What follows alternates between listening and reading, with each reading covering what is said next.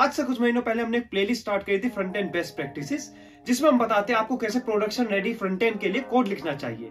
इस प्लेलिस्ट का main M यही था कि आपको कोड लिखना आना चाहिए, कैसे अच्छा कोड लिखते हैं। आपको एक जॉब में प्रोडक्शन रेडी कोड लिखना आना चाहिए। अगर आप फ्रेशर हो, तब भी आपको पता होना चाहिए कि प्रोडक्शन रेडी कोड कैसे लिखते हैं। आज की वीडियो इस प्लेलिस्ट का लास्ट वीडियो होने वाली है, इस सीज़न की लास्ट होने वाली है सो ये आज की वीडियो सिक्स वीडियो होने वाली है उस प्लेलिस्ट की, जो हम आज एंड कर देंगे इस सीज़न को सो सीज़न वन यही खत्म होता है season two obviously next year आएगा। अब स्टार्ट करते हैं आज की वीडियो में, जिसमें हम बात करने वाले हैं आर एम ई एम और पीएक्स के बारे में। आखिर ये होता क्या है?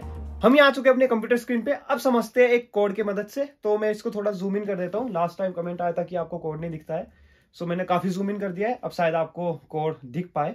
सो मैं कोड पर जूम इन कर देता हूँ, बहुत सारा जूम हो चुका है। ओके बेसिकली इस प्रोजेक्ट में क्या है? हमारे पास काफ़ी सारे कार्ड्स है। मैं आपको एक बार गूगल क्रोम की स्क्रीन भी दिखा देता हूँ। यहाँ देखिए, हमारे पास कार्ड्स है। तो card one card two card three नीचे एक इमेज है, जिसके नीचे एक फ़ोन साइज़ है। सिंपल मतलब फ़ोन है एक सिंपल कोई ऐसे हाई फाई हमारा हमारा कोड नहीं है, कोई हाई फाई एप्लीकेशन नहीं है सिंपल एप्लीकेशन है सिंपल से समझेंगे सिंपल ही समझ में आएगा। तो हम वापिस जाते हैं कोड के अंदर। आज हमें बात करनी है R E M E R E M E M और पी एक्स के बारे में। सो मैं चाहता हूँ इंडेक्स एस एस में सो ऑब्वियसली अगर हम इनकी बात करने वाले हैं तो सी एस एस की बात करने वाले हैं।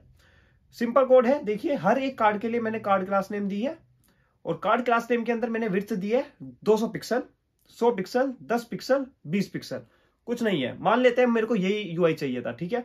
कोई दिक्कत नहीं है इसके अंदर राइट अब मैं बताता हूँ दिक्कत कहाँ पर आती है। सो so, जब भी हम वेब एप्लीकेशन बनाते हैं मैंने अपनी पिछली वीडियो में भी बताया था जो हम वेब एक्सेसिबिलिटी की वीडियो थी कि हम खुद को देख के नहीं बनाते हैं, हम पूरी दुनिया के लिए बनाते हैं। और पूरी दुनिया में काफ़ी तरह के लोग आते हैं। तो सबके लिए बनाने के लिए हम करते हैं एक्सेसिबिलिटी एक्सेसिबिलिटी के लिए यहाँ पे पॉइंट आता है आरईएम और ईएम का ओके सो अब समझते हैं आरईएम ईएम करते क्या है। आरईएम बेसिकली ये कहता है कि आप मेरे को जो भी वैल्यू दोगे ना, मान लेते आपने वन आरईएम दिया है, ठीक है? तो मैं उसको मैप करा दूँगा एचटीएमएल के फ़ोन साइज़ से ओके सिंपल सो मान लेते हैं आपके एच का फ़ोन साइज़ अगर 10 पिक्सल हुआ तो वन आरईएम की वैल्यू हमारी हो जाएगी 10 पिक्सल सिंपल ओके सो अब समझते हैं कि आखिर एचटीएमएल की वैल्यू कितनी होती है. सो so, अगर आप नॉर्मल ब्राउज़र यूज़ कर रहे हो जिसमें फ़ोन साइज़ आपका नॉर्मल है मतलब आपने कोई छेड़छाड़ नहीं करी है फ़ोन साइज़ के फ़ोन साइज़ के साथ सो so, वहाँ पे वन आरईएम की वैल्यू आपकी हो जाती है 16 पिक्सल्स आपने 16 पिक्सल किया ठीक है? तो अगर आप वन आरईएम डालोगे तो उसका मतलब होगा 16 पिक्सल्स ठीक है? अब समझते हैं कि आपको कब आरईएम यूज़ करना चाहिए। अब यहाँ पे मैं आपको एक चीज़ दिखाता हूँ ठीक है? मैंने एक्सेसिबिलिटी की बात बोली थी। यहाँ पे देखिए का यहाँ पे टेक्स्ट बहुत छोटा दिख रहा है। मान लेते हैं मेरे मेरे को थोड़ा टेक्स्ट नहीं दिखता है दूर का। मैं चाहता हूँ थोड़ा फ़ोन बड़ा कर दू जिसको मेरे, मेरे को दिख जाए जिससे वो ओके सो मैं चाहता हूँ सेटिंग्स में सेटिंग्स में जाके मैं फ़ोन साइज़ चेंज करता हूँ ओके और फ़ोन साइज़ में मैं कहता हूँ कि यार मीडियम से वेरी लार्ज कर दो ठीक है? और वापस आता हूँ। क्या चेंज हुआ कुछ? हाँ बिल्कुल चेंज हुआ है। टैग फ़ोन फ़ोन साइज़ हमारा चेंज हो चुका है राइट अब मान लेते हैं कि अगर मैंने विर्थ इसकी इतनी नहीं की होती ओके अब मैं वापिस जाता हूँ। हंड्रेड पिक्सल की जगह मैं इसकी, नहीं टू हंड्रेड पिक्सल की जगह मैं हंड्रेड पिक्सल विड कर देता हूँ ठीक है? तो यहाँ देखिए यूआई हमारा ब्रेक कर गया। मैं क्या चाहता था? पहली लाइन में कार टाइटल आए, दूसरी लाइन में कार डिस्क्रिप्शन आए, पर अब क्या हुआ? मेरा कार डिस्क्रिप्शन दो लाइन में चला गया कार टाइटल एक में आ गया, ठीक है? तो बेसिकली रेस्पॉन्सिवनेस यहाँ से चली गई। अब इस रिस्पॉन्सिवनेस को लाने के लिए हम क्या करते हैं? वापिस जाता हूँ मैं। सो so, हम वापस से पहले नॉर्मल फ़ोन साइज़ कर लेते हैं इसका। सो so, अगर मैंने इसका फ़ोन साइज़ मीडियम कर दिया वापस से अब मैं कोड में जाता हूँ वन आर को हटा देता हूँ और विथ को फिर से 200 पिक्सल कर देता हूँ ठीक है? हाँ अब हमारा डिस्क्रिप्शन और टाइटल दिखने लगा। अब हमें रेस्पॉन्सिवनेस चाहिए ठीक है? अगर मैं यूज़र फ़ोन साइज़ बढ़ाए या ना बढ़ाए कैसे भी हो हमें यूआई एक जैसा दिखाना है ठीक है? तो अब देखिए अब इस केस में हम क्या करेंगे? सो so, मैं बेसिकली इसको कमेंट आउट कर दूँगा। ऐसे कमेंट आउट करने की ज़रूरत नहीं है।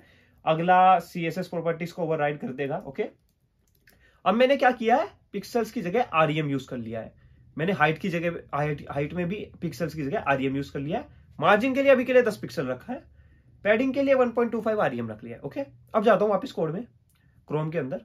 सो so, क्रोम में अब देखिए अगर मैं रिफ्रेश करता हूँ ओके रिफ्रेश हो चुका है। सेम वही यूआई दिखा रहा है जो मैं पहले दिख रहा था राइट जो हमने पिक्सल्स के साथ दिखाया था। अब मैं क्या करता हूँ फ़ोन साइज़ चेंज करता हूँ तो अब देखेगा क्या होगा। अब जैसे ही मैं सेटिंग्स में जाता हूँ मैं चाहता हूँ मेरे को वेरी लार्ज फ़ोन साइज़ दिखे ठीक है? तो अब मैं वापस आता हूँ वेबसाइट पे ये देखिए। टाइटल डिस्क्रिप्शन कार्ड तीनों तीनों हमारे बड़े हो गए। ऐसा क्यों? सो so बेसिकली क्या हुआ है? ब्राउज़र में जब भी आप फ़ोन साइज़ चेंज करते हो ना वो आपकी पिक्सल्स वैल्यू चेंज कर देता है जो एच का फ़ोन साइज़ होता है उसकी। सो so, मान लेते हैं अगर पहले हमारा एच का फ़ोन साइज़ 16 पिक्सल था और 16 पिक्सल फ़ोन साइज़ था एच का और वो हमारी वन आर वैल्यू होती है अब वो हो जाएगा 24 या फिर 25 जो भी इसने डिफाइन किया है। तो इसलिए उसकी विड्थ भी बढ़ गई कार्ड की। सिर्फ़ टेक्स्ट की नहीं कार्ड की विड्थ भी बढ़ गई। अब समझ में आया आपको हमें आरईएम क्यों यूज़ करना चाहिए? ठीक है, अब हम समझते हैं कि आरईएम हमने यहाँ तो यूज़ कर लिया बट क्या हमेशा आरईएम यूज़ करना चाहिए? नहीं, बिल्कुल नहीं। क्यों नहीं करना चाहिए? अब मैं नया एग्ज़ाम्पल देता हूँ आपको। यहाँ पे देखिए एक इमेज है ओके अब मान लेते हैं आपने कोई ऐसी वेबसाइट बनाई है जिसमें आप इमेज के साइजेस दिखाते हो, ठीक है? मान लेते हैं आपकी फोटोग्राफी की वेबसाइट है, आप वहाँ पे दिखाना चाहते हो कि मेरे को 500 हंड्रेड विर्थ और 300 हाइट के साथ ऐसी इमेज दिखेगी, ठीक है? अब उस केस में अगर आप आरईएम यूज़ करोगे विथ हाइट चेंज हो जाएगी एज पर फ़ोन साइज़ तो वहाँ वो आपको नहीं चाहिए। आपको एक फिक्स साइज़ चाहिए वहाँ पे पिक्सल्स का। तब आप पिक्सल्स यूज़ कर सकते हो। ठीक है? समझ में आ रही है बात? मतलब स्पेसिफिक केस होते हैं। अगर आपको चाहिए कि आपको एक फिक्स्ड चाहिए, आपको फिक्स्ड विथ फिक्स्ड हाइट सब कुछ फिक्स चाहिए तो आप पीएक्स यूज़ कर सकते हो। जैसे जैसे मैंने मार्जिन के लिए यहाँ पे 10 पिक्सल यूज़ किया था तो अभी भी अभी भी मार्जिन उतना ही है जितना पहले था। मैंने आरईएम यूज़ नहीं किया क्योंकि मैं चाहता हूँ गैप हमेशा सेम रहे। तो जब भी आपको चाहिए फिक्स्ड कुछ भी fixed margin height anything so उसके लिए आपको यूज़ करना होगा पिक्सल्स आरईएम और पिक्सल के बाद आता है ईएम सो ईएम बेसिकली क्या कहता है? ईएम e ये कहता है कि ये आप अगर वन ईएम e करोगे तो मैं एचटीएमएल का फ़ोन साइज़ नहीं देखूँगा मैं अपने पेरेंट का फ़ोन साइज़ देखूँगा. सो so, उसके लिए मैंने एक एग्ज़ाम्पल लिया है यहाँ पे इमेज है 500 एक्स 300 ठीक है? वहाँ पे एक कैप्शन भी डाला है ये कैप्शन है basically fig caption girl with camera so so, यहाँ पे मैंने क्या किया है? अगर मैं कोड में जाता हूँ विर्थ और हाइट लिख रखी है 500 पिक्सल 300 पिक्सल अब मैं चाहता हूँ ये चेंज हो ठीक है? फ़ोन साइज़ के अकॉर्डिंग तो मैं इसको हटा देता हूँ। मैं वापस से उसको ला रहा हूँ वो मैंने गलती से डिलीट कर दिया था। सो so, मैं बेसिकली मेरे को अनकमेंट ही करना था हाँ। फिगर का फ़ोन साइज़ 10 पिक्सल है ओके इमेज की विर्थ 31.25 मतलब थर्टी 31.25 आरईएम है। हाइट हाइट 18.75 ईएम है। आरईएम नहीं सॉरी ईएम है। यहाँ पे आप देखते हैं एसटीएमएल सो एसटीएमएल में क्या है? हमारे पास इमेज है। इमेज का पेरेंट कौन है? फिगर तो ये अगर हम मैंने ईएम यहाँ पे डिफाइन किया है आईएमजी में, अभी मैंने यहाँ पे आईएमजी में ईएम डिफाइन किया है तो अपने पेरेंट का फ़ोन साइज़ देखेगा। अब फिक्स कैप्शन का पेरेंट कौन है? फिगर ठीक है? अब ये भी अपने पेरेंट का देखेगा। तो मान लेते हैं, अगर मैं यहाँ पे फ़ोन साइज़ चेंज कर देता हूँ इसका, दस से मैं कर देता हूँ ट्वेंटी ठीक है?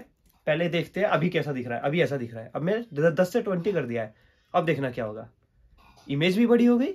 फ़ोन साइज़ भी बड़ा हो गया। समझ रहे हो?